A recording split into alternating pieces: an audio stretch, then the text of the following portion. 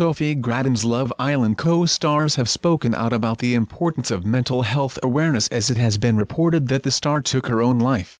The 32-year-old was found dead at her parents' home on June 20. As speculation over the cause of her death circulated, her fellow islanders have taken to social media to speak about the issue. Her ex-girlfriend Katie Salmon exclusively told OK. Online, I'm heartbroken and am disappointed in the support system. We still have much to do for mental health.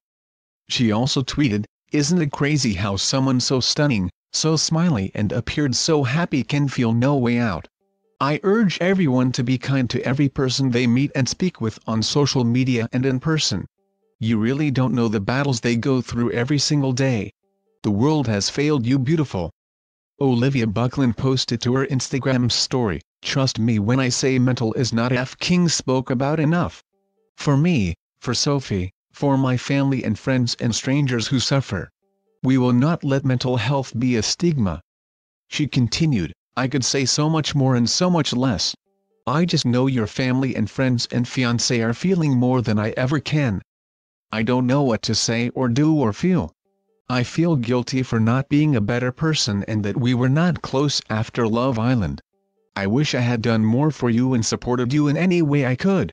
I always speak about mental health on behalf on me and my family and friends who have suffered.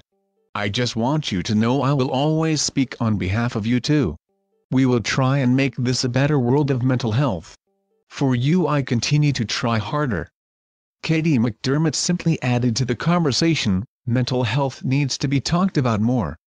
Adam Maxted offered, what people post on social media doesn't always reflect what's really going on in their life or mind. The world is becoming more and more judgmental with many people feeling the pressure to look act a certain way. Be kind to people, you never know what's really going on in there before adding the world emoji. Sophie's boyfriend Aaron Armstrong broke the news of her tragic death to fans in a Facebook post.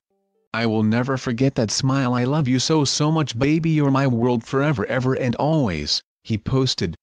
If you have been affected by the story, you can call the Samaritans on 116 123 or visit www.samaritans.org.